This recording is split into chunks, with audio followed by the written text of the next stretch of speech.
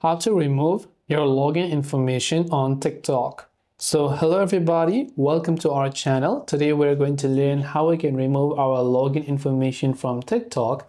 So without any further ado or delay, let's get started with today's video. First, open the TikTok app and of course just come to your profile page by making sure you're on the profile icon from the bottom right. Then first we have to remove our login information if we have saved it. So on the top right hand side, you can see the three lines or the menu icon there.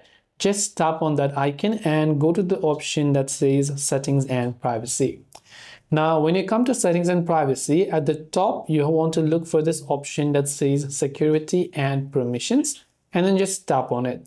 Then when you go to security and permissions, here you can see this option save login info. If this option is toggled on, what you want to do is to toggle it off. So just turn on the toggle and turn it off, sorry, and then you can see that it has been grayed out. Now we're just going to come back and scroll all the way to the very bottom and now you can see the logout button. Now when you tap on logout and tap the logout button, you'll be successfully logged out and TikTok will not save your login information. And this is how we can completely log out of TikTok.